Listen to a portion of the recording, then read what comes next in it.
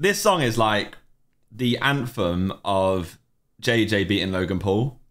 Like this, this, this song is just what that's the all I can think of this song is that trip. When are you gonna get JJ, Rick Ross, Lil Baby, and SX on a song?